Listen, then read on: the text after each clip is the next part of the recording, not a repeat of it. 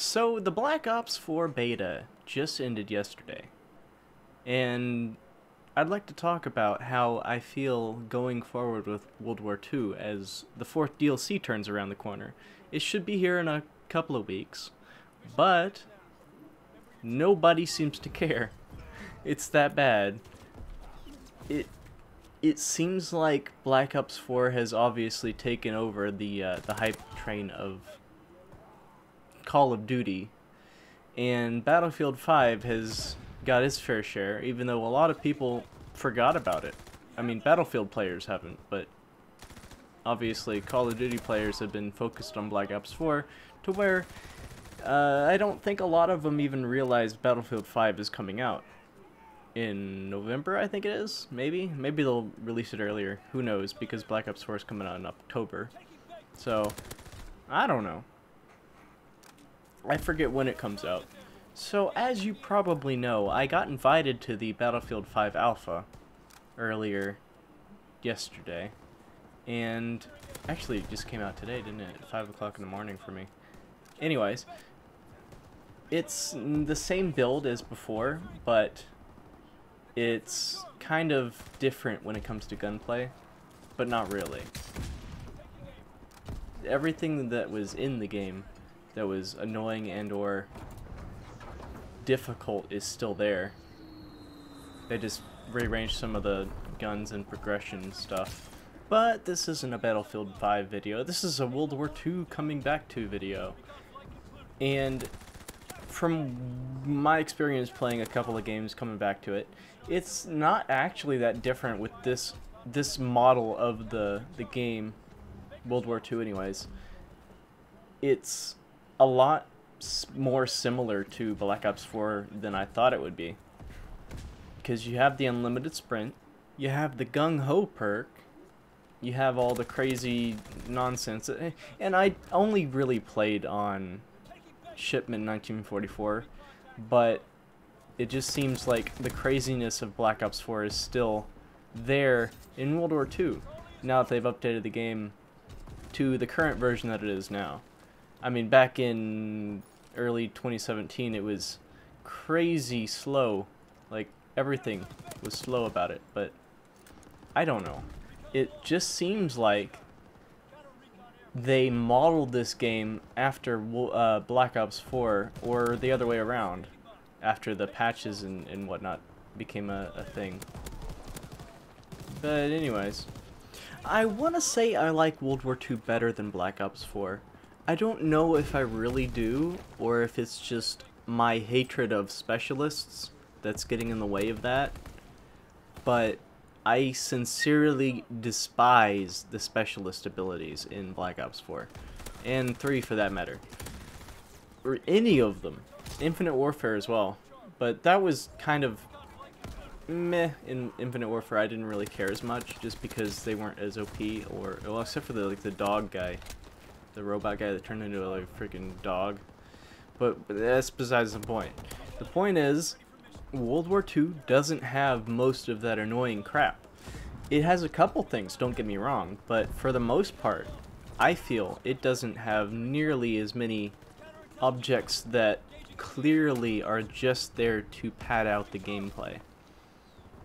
Because in Black Ops 4, you have those specialist abilities, and they're just there to have a free kill for those players that are new to the game.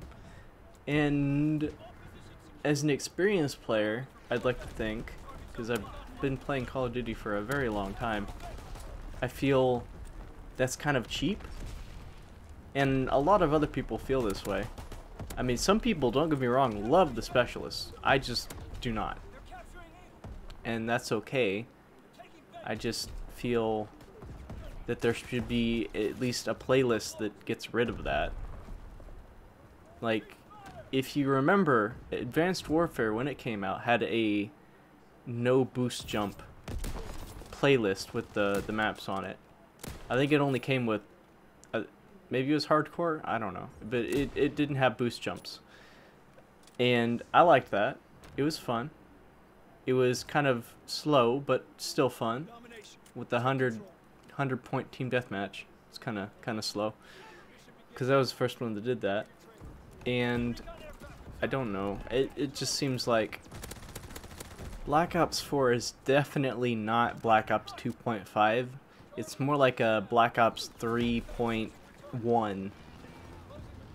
That's probably a more accurate statement than uh, Black Ops 2.5 because yes, it doesn't have boost jumping, but no, it's not the same as Black Ops 2 or anything close to that for that matter. It's still got the specialist, it's still got the the movement system of Black Ops 3 just without the boost jumps. And I actually didn't mind Black Ops 4 for the most part. I enjoyed the gunplay. I just didn't like the the fact that you could have a little I don't know what the heck that little shocker drone thing is uh, the, on wheels, the little little looked like a looked like the little camera drone from uh, Rainbow Six Siege is what it was. But it shocked. It actually, you know what?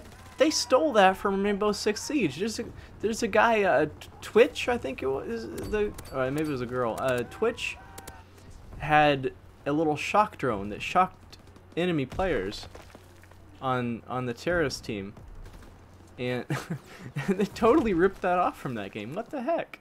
That's that's kind of funny. Okay, so maybe not a direct ripoff because it's remote. It's not remote controlled. It's automated and shocks you and then completely disables your movement unless you press the use key on it for some reason and you just rip the rip off the freaking uh, wires that are shocking you just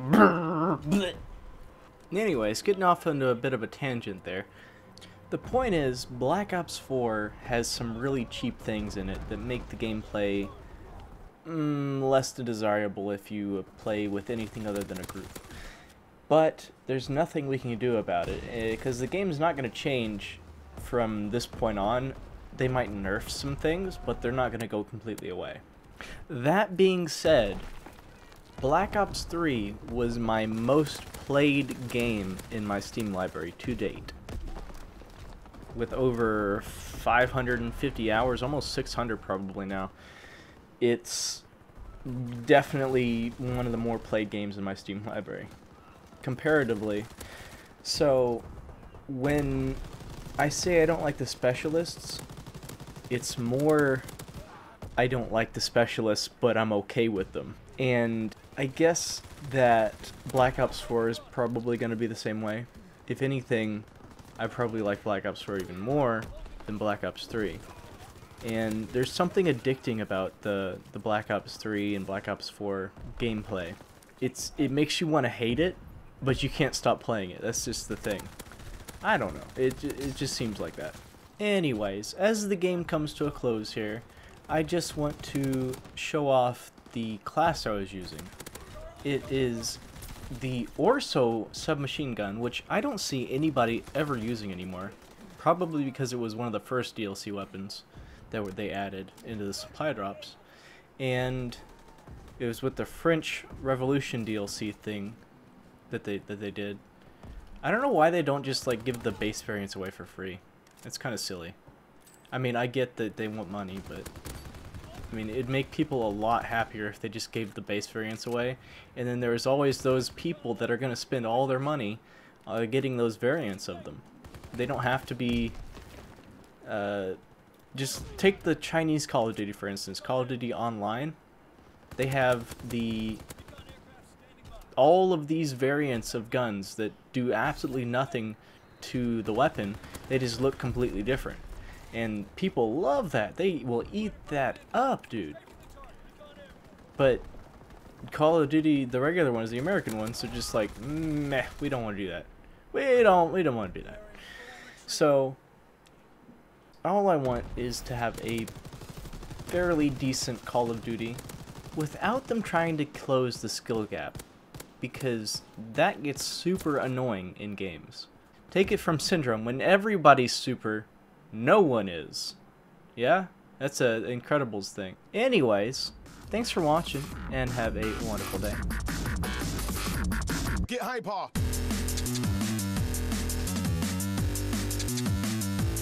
Get hyper!